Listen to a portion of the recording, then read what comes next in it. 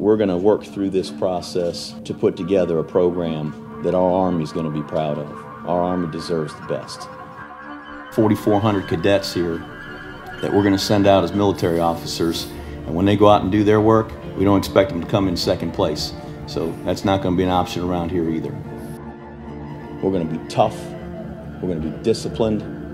We're going to play with pride, with passion, with great effort.